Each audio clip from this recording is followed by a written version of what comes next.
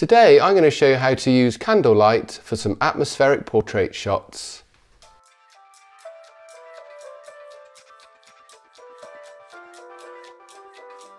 Using candles is a simple yet effective way to capture some nicely lit portraits in your home, with the warm candlelight creating an evocative atmosphere.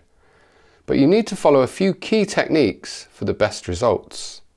First off, we're using a wooden floor in our hallway to act as a reflective surface for the candlelight. Avoid drafty locations, otherwise the flames will flicker. Shooting at night with the lights off would be best, but we're shooting in the daytime here, and as long as the curtains are closed in your room, it should be dark enough. We've draped some dark material over the door to act as a backdrop and to block the window too. The area doesn't need to be totally dark as we're exposing for the bright candlelight which renders the backdrop and the surroundings black anyway. More candles equals more light on your subject. We found about 20 tea lights worked well, positioned in a rough triangular formation about a foot in front of our model.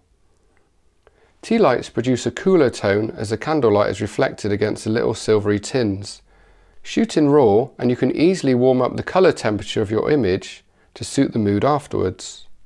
A standard zoom lens at a focal length of around 50mm works best, as you can fill the frame without needing to be too far back from your subject, ideal when shooting in tight spaces indoors.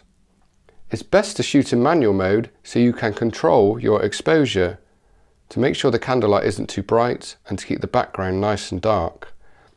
I'm going to start with an exposure of f2.8 at 1 100th of a second and ISO 500 the wide aperture will blur the foreground and background, the shutter speed will be fast enough for a sharp portrait shot handheld, while at ISO 500 it should capture enough light while still rendering the background dark.